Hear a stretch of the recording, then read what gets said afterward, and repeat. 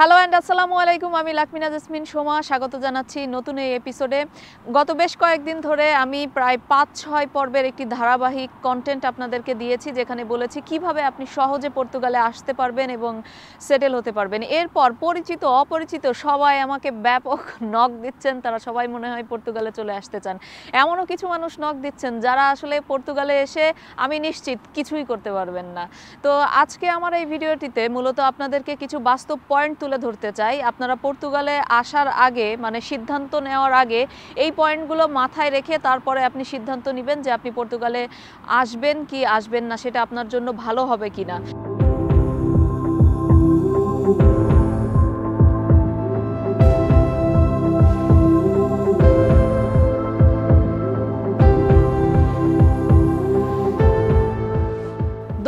পশ্চিম ইউরোপের একটি দেশ হচ্ছে পর্তুগাল, যার আয়তন বাংলাদেশের চেয়ে বেশ ছোট তিরানব্বই হাজার বর্গ কিলোমিটার মতো, যেখানে বাংলাদেশের আয়তন এক লক্ষ সাতচল্লিশ হাজার বর্গ কিলোমিটার, আর এখানে জনসংখ্যা হচ্ছে মাত্র দশ মিলিয়ন।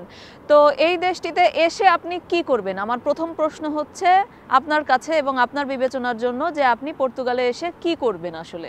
পর্তুগালের উত্তর এবং পূর্ব, পুরোটা জুড়ে হচ্ছে স্পেনের সীমান্ত। আবার অন্যদিকে দক্ষিণ এবং পশ্চিম, পুরোটা জুড়ে হচ্ছে আটলান্টিক মহাসাগর। এই দেশের প্রধান, আপনি যদি অর্থনৈতিক দিক চিন্তা করেন, তাহলে প্রধান বলা চলে যে কৃষি পর্যটন নির্ভর সামুদ্রিক অর্থনীতি অর্থাৎ মৎস্য নির্ভর কিছু ইন্ডাস্ট্রি আছে। এই সব কিছু মিলিয়েই কিন্তু পর্তুগালের অর্থনীতি। তো আপনি এসে এই দেশটিতে কি কি করার সুযোগ পাবেন? প্রথমত আপনাকে এই দেশে কিছু একটা করতে হলে আপনার তো ভাষা জানতে হবে। ধরেন আপনি এখানকার প্রায় পঁচানব্বই শতাংশ মানুষই পর্তুগিজ ভাষায় কথা বলে। সেটি যদি আপনি নাই জানেন, ধরেন ইংরেজিতে আপনাকে ভালো হতে হবে। এই পাঁচ পার্সেন্টের মধ্যে আপনার অন্য যত বিশ্বের দেশ আছে, তার মধ্যে এই পাঁচ পার্সেন্ট ধরেন ইংলিশে কথা বলে, এই পাঁচ পার্সেন্টের মধ্যে প্রতিযোগিতা করে আপনাকে কিন্তু একটি জব ম্যানেজ করতে হবে। আর সেক্ষেত্রে সবচেয়ে বড় যে বড় বিষয় হলো অনেকে আসেন কৃষিতে। হ্যাঁ কৃষিতে অত কথা বলা লাগে না, কাজ করলেই হয়, সুতরাং সেই জায়গাটাতে আপনি কাজ করতে পারবেন। আপনি কি কৃষি কৃষি, বাংলাদেশের কৃষি আর এখানকার কৃষি কিন্তু সম্পূর্ণ আলাদা। সুতরাং আপনাকে মাথায় রাখতে হবে যে আপনি কৃষি কাজ করতে পারবেন কিনা। দ্বিতীয়ত, এটা পর্যটন নির্ভর যেহেতু দেশ, সুতরাং আপনি রেস্টুরেন্টে কাজ করতে পারেন বা পর্যটন নির্ভর যে দোকানগুলো রয়েছে, সেই দোকানগুলোতে কাজ করতে পারবেন। মোট কথা, পর্যটন নির্ভর কাজ করতে পারবেন। কিন্তু এখানে একটি প্রশ্ন আছে, পর্যটন নির্ভর বেশিরভাগ কাজের ক্ষেত্রেই আপনাকে ল্যাঙ্গুয়েজ জানা লাগে। পর্তুগিজ ল্যাঙ্গুয়েজ জানতে হয়, ইংরেজি ল্যাঙ্গুয়েজ জানতে হয়। আপনি যেমন অন্য অন্য দেশে, ধরেন জার্মানি হতে পারে, নেদারল্যান্ড হতে পারে বা ইউনাইটেড কিংডম হতে পারে এই সব দেশগুলোতে যেমন ইংরেজিতে আপনি পারদর্শী হলে এখানে ইজিলি একটা জায়গায় জব করতে পারেন। কিন্তু এই জায়গাটাতে কিন্তু আপনার পর্তুগিজ ল্যাঙ্গুয়েজ ছাড়া এই মেন স্ট্রিম পর্তু আপনার ট্যুরিজম সেক্টরেও কিন্তু কাজ করা খুবই কঠিন হয়ে পড়ে। সেক্ষেত্রে আপনাকে কি কাজ করতে হবে? কিচেন বেসড মানে রেস্টুরেন্টে আপনি ফ্রন্ট ডেস্কে হোটেলে কাজ করতে পারবেন না। আপনার কিচেন বেসড যে ডিশ ওয়াশিং টু ওয়াশিং এইগুলা টাইপের কাজগুলো কিন্তু করতে হবে। আর আপনি ধরেন যে ইংরেজিতে খুবই পারদর্শী, আপনি খুবই হাই স্কিল্ড এরকম যদি হয়ে থাকেন, তাহলে আবার আপনার কাজের জায়গা আছে, আপনি আইটি সেক্টরে কাজ করতে পারেন, আপনি ইন্টারন্যাশনাল যে অর্গানাইজেশনগুলো রয়েছে, আপনি সাইটেলে কাজ করতে পারেন এয়ারবিএনবিতে কাজ করতে পারেন অ্যামাজনে কাজ করতে পারেন, এরকম যদি আপনি হাই স্কিল্ড হয়ে থাকেন, তাহলে এই সব জায়গাগুলোতে কিন্তু আপনি কাজ করতে পারবেন।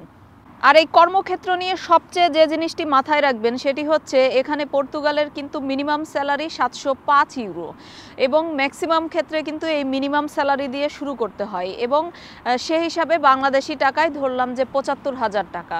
তো বাংলাদেশে আপনি কত টাকা ইনকাম করেন আর এখানে এসে এইসব কাজ করে কত টাকা ইনকাম করতে পারবেন সেটি মাথায় রাখবেন। দ্বিতীয় যে প্রশ্নটি আপনাদের কাছে আমি রাখব, সেটি হচ্ছে আপনি থাকবেন কোথায়? আপনার ইনকাম যদি এই পঁচাত্তর হাজার টাকা হয়ে থাকে, ধরেন পেলেন একটি জব আপনি থাকবেন কোথায় এবং আপনার থাকা, খাওয়া খরচ কেমন হবে? এই জিনিসটা আপনাকে মাথায় রাখতে হবে। বলে রাখি, পর্তুগালের যে রাজধানী লিসবন, লিসবনে কিন্তু আবাসন সংকট তীব্র। এটা নিয়ে প্রায় এখানে মেন স্ট্রিম মিডিয়াতেও নিউজ হয় যে মানুষের আসলে থাকার জায়গা অনেক অনেক অনেক বেশি আপনার কস্টলি কারণ আপনি ফর এক্সাম্পল আপনি ধরেন এখানে যদি চাইলেই কিন্তু বাড়ি ভাড়া নেওয়া যায় না। কারণ বাড়ি ভাড়া নিতে গেলে আপনাকে যতগুলো ডকুমেন্টস সাবমিট করতে হয়, এখানকার এত টায়ারে আপনি ট্যাক্স দিয়েছেন, এত কিছু করেছেন, এই এই আপনার জব কন্ট্রাক্ট ইত্যাদি ইত্যাদি দিয়ে আপনাকে একটি বাসা ভাড়া করতে হয়, যেটা খুবই কঠিন। তো সেটা সাধারণত আপনার করার সুযোগ নেই। আপনি যদি সিঙ্গেলও আসেন, আপনি সর্বোচ্চ গেলে কি করতে পারেন? একটা বাসার সাবলেট নিতে পারেন বা ওগুলোকে বলা হয় যে প্রাইভেট রুম তো একটি প্রাইভেট রুম আপনি ভাড়া নিতে পারেন। একটি বাসার ভাড়া মানে কমপক্ষে আপনার পাঁচশো ইউরো থেকে এক হাজার ইউরো পর্যন্ত। যেখানে একটি দেশের মিনিমাম স্যালারি সাতশো ইউরো, সাতশো পাঁচ ইউরো, সেখানে আপনার একটি বাসা ভাড়া কিন্তু আপনার পাঁচশো ইউরো থেকে এক হাজার ইউরো তার উপরে পর্যন্ত। আর যদি আপনি প্রাইভেট রুম নেন যে একটি রুম নেন একটা বাসার, তাহলে সেটিও আপনার আড়াইশো ইউরো থেকে সাড়ে তিনশো ইউরো। বেতন কিন্তু সাতশো পাঁচ ইউরো। কিন্তু আপনার এই যে আপনার ঘর ভাড়াতেও কিন্তু এত টাকা পর্যন্ত আপনার চলে যাচ্ছে। এবার আপনি আসুন যে আপনার খাওয়ার খরচ কি হতে পারে। হ্যাঁ খাওয়ার খরচ আপনি যদি একা মোটামুটি মিডিল ক্লাস আপনি বাংলাদেশে যেভাবে খাওয়া দাওয়া করেন, এরকম যদি হয়ে থাকে, তাহলে আপনি দুইশো ইউরো থেকে তিনশো ইউরোর মধ্যে, আড়াইশো ইউরোর মধ্যে আপনি হয়তো বা টেনে টুনে মোটামুটি ভালোভাবে খাওয়া দাওয়া আপনার চালায় নিতে পারবেন। তো আপনার যদি আপনি একটা প্রাইভেট রুম নেন এবং একটু মানে মোটামুটি মানের খাওয়া দাওয়া করেন, তাহলে আপনার কত খরচ হচ্ছে? মিনিমাম পাঁচশোর উপরে চলে যাচ্ছে। আপনার বেতন যদি সাতশো ইউরো হয়ে থাকে, তাহলে আপনার কাছে বাকি আরও কি কি থাকছে? আপনার ট্রান্সপোর্ট খরচ, আপনার ডে টু ডে লাইফের খরচ, ইত্যাদি সব কিছু মিলিয়ে আপনি কি সেভিংস করবেন এখানে? এই জিনিসটা কিন্তু আপনাকে মাথায় রাখতে হবে। তো এই আয় আর ব্যয়ের মধ্যে যখন আসলে কিছুই কোনোভাবেই ব্যালেন্স করা যায় না, তখন আমাদের দেখি যে বাংলাদেশ সহ দক্ষিণ এশিয়ার দেশগুলো থেকে যারা এখানে আসে, তারা আসলে কি ইনকাম করে? তারা ফুড ডেলিভারির কাজ করে উবার ইটসে তারপরে এখানে বোল্ট নামে একটি কোম্পানি আছে, সেই বোল্টের মাধ্যমে খা ফুড ডেলিভারি করে থাকে এক্সট্রা ইনকামের সময়ে এক্সট্রা ইনকাম করে বা ওটা দিয়ে আরও বেশি ইনকাম করা যায়, ওই সাতশো ইউরোর থেকে আরও বেশি ইনকাম করা যায়। আবার এরকম হয় যে অনেকে উবার চালায়, তবে উবারের এখানকার নিয়ম কিন্তু অনেক রেস্ট্রিক্টেড আপনি এসেই এখানে উবার করতে পারবেন না। তো অনেকে উবার চালায়, এটা করে এই সাতশো ইউরোর বেশি টাকা বরং তারা আয় করে বা এক্সট্রা টাইমে তারা এই কাজটা করে, মোটামুটি একটু ভালো থাকার চেষ্টা করে বা সেভিংস করার চেষ্টা করে।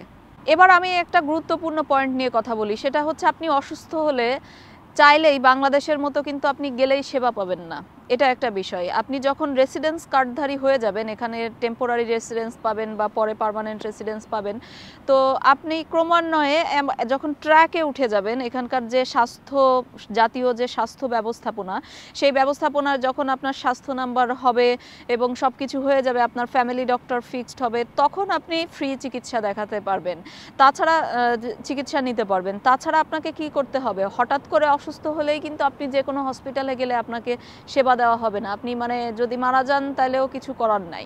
কিন্তু আপনি যদি যেসব হসপিটালে ইমার্জেন্সি বিভাগ আছে, সেখানে যদি যান, তাহলে আপনাকে ওখানে দীর্ঘক্ষণ লাইনে দাঁড়িয়ে তারপর আপনার ইমার্জেন্সি সেক্টর শুধু আপনার জন্য খোলা আছে। আপনি ইমার্জেন্সি বিভাগে ডক্টর দেখাতে পারবেন। কিন্তু অন্য জায়গায় সরকারি হসপিটালে দেখাতে পারবেন না। হোয়াটস অ্যাবাউট বেসরকারি হসপিটাল বেসরকারি হসপিটালের ক্ষেত্রে আপনি যদি একটা ডক্টরের অ্যাপয়েন্টমেন্ট করতে যান, তাহলে ডক্টর আপনাকে ইনস্ট্যান্ট কিন্তু অ্যাপয়েন্টমেন্ট দিবে না। আপনার ডক্টরের অ্যাপয়েন্টমেন্ট পেতে পেতে এক সপ্তাহ, দুই সপ্তাহ, তিন সপ্তাহ মাসও লেগে যেতে পারে এবং ডক্টরের প্রাথমিক অ্যাপয়েন্টমেন্ট আপনাকে একটা ধারণা দিই যে মিনিমাম কিন্তু একশো ইউরো খরচ করে একটা ডক্টরের অ্যাপয়েন্টমেন্ট নিতে হয়, যেটি বাংলাদেশি টাকা হিসাব করতে গেলে প্রায় বারো হাজার টাকা। এবার একটু শিক্ষা নিয়ে কথা বলি। আপনি যদি স্টুডেন্ট হিসাবে এই দেশটিতে আসেন, তাহলে ইটস ওকে কারণ স্টুডেন্টদের জন্য সব সময় সব ক্ষেত্রগুলোতে কিন্তু বিশেষ ছাড় রয়েছে। যেমন ইউরোপের অন্যান্য দেশের মতো না, এই দেশে আপনি স্টুডেন্ট হয়েও আপনি যদি আফটার ওয়ার্ক ক্লাস নেন, তাহলে আপনি কিন্তু ফুল টাইম জব করতে পারবেন। তার মানে আপনার সব ধরনের সুযোগ সুবিধা থাকবে। আপনি স্টুডেন্ট হিসাবে এখানে অনেক জায়গায় অনেক সুবিধা পাবেন। কিন্তু আপনি যদি ফ্যামিলি আসেন যে আপনার বাচ্চাদেরকে আপনি শিক্ষা দিবেন, সেটা প্রাইমারি এডুকেশন বা মধ্য আপনার হায়ার এডুকেশন এরকম যদি হয়ে থাকে, অর্থাৎ ইউনিভার্সিটি লেভেল না, তার চেয়ে নিচে, তাহলে কিন্তু আপনার ওই বাচ্চাকে আগে পর্তুগিজ ভাষা শিখতে হবে। যদি ইংলিশ মিডিয়াম বা ইংলিশ ভার্সনে আসলে করাতে চান, তাহলে সেটা একটু কঠিন এবং খরচ খুবই বেশি। খুবই বেশি এটা অ্যাফোর্ড করা আপনার পক্ষে খুব একটা সম্ভব হবে না। এখানকার কালচার এবং ধর্ম নিয়ে একটু কথা বলি ছোট্ট করে। সেটি হচ্ছে যে পর্তুগিজরা অনেকটা হচ্ছে খুবই ইয়ে টাইপের মানে অন্য ন্যাশনালদের সাথে তারা খুব কম ফ্রেন্ডলি মানে কম কথা বলে এবং তাদের সাথে খুব একটা মিশতে চায় না। ইনফ্যাক্ট আমি আমার ক্লাসে দেখেছি যে মানে অন্য ন্যাশনালদের সাথে মিশতে পারি, কিন্তু যারা এখানকার লোকাল তারা ওই লোকালদের মধ্যেই থাকতে চায়। তারা ইন্টারন্যাশনাল স্টুডেন্টদের সাথে মিশতে চায় না। একইভাবে অন্য সব ক্ষেত্রগুলোতে জব থেকে শুরু করে এভরিহোয়ার তারা আসলে একটু অভিবাসীদের সাথে কম মেশে। তবে এটা ঠিক যে ইউরোপের অন্য অন্য দেশের তুলনায় এখানে পর্তুগিজরা অতটা রেসিস্ট না। তারা বেশ মানে তাদের সাথে কম্পারেটিভলি কম রেসিস্ট কিন্তু কম্পারেটিভলি কম ফ্রেন্ডলি মানুষ। তারা নিজেরা নিজেদের সাথে আসলে মিশতে চায়। আর ধর্ম এখানে ম্যাক্সিমাম হচ্ছে খ্রিস্টান এবং আপনার ক্যাথলিক মুসলিম কমিউনিটি খুবই কম এবং একটা কয়েকটা শহরের ছোট্ট একটু কমিউনিটি আছে যারা মুসলিম, তবে যারা বাংলাদেশি রয়েছে, তাদের সাথে আপনি তাদের মধ্যে মুসলিম পাবেন আর কি। পর্তুগালের একটা পজিটিভ দিক হচ্ছে ওয়েদার এখানে বেশ ভালো। ইউরোপের অন্যান্য দেশের মতো ওরকম বরফ মানে স্নোফল হয় না। আবার এখানকার ওয়েদার অনেকটা কমফোর্টেবল আপনি বুঝতে পারবেন না বাংলাদেশে না এখানে আছেন। একটু শীত বাংলাদেশের থেকে বেশি, তবে আদার্স সব মিলায় কিন্তু অনেকটা বাংলাদেশের মতোই ওয়েদার বলা হয়ে থাকে যে পাঁচ বছর পরেই আপনি এই দেশটির পাসপোর্ট যদি নিতে পারেন, তাহলে অন্য ইউরোপের যে কোনো দেশে, আপনার যে দেশে মন চায়, আপনি সেইখানে যে সেটেল হতে পারেন। এটা ঠিক, কিন্তু আপনার বাস্তবে পুরো প্রসেসটি করতে গেলে, ধরেন আপনি যদি সরাসরি রেসিডেন্স ভিসা নিয়ে না আসেন, তাহলে আপনার ওই ফার্স্ট রেসিডেন্স কার্ড পেতে পেতে প্রায় দেড় থেকে দুই বছর লেগে যায়। আর স্টুডেন্ট হলে ডিফারেন্ট কথা, সেক্ষেত্রে আপনি তিন মাসের মধ্যেই পেয়ে যেতে পারেন। তো আপনি এসে এই কাজটা করতে করতে আপনার প্রায় দেড় থেকে দুই বছর লেগে যায়। এরপর, তারপর ফার্স্ট রেসিডেন্স কার্ড পাওয়ার পর আপনার হিসাব শুরু হবে যে আপনি কত বছর এই দেশটিতে থাকলেন।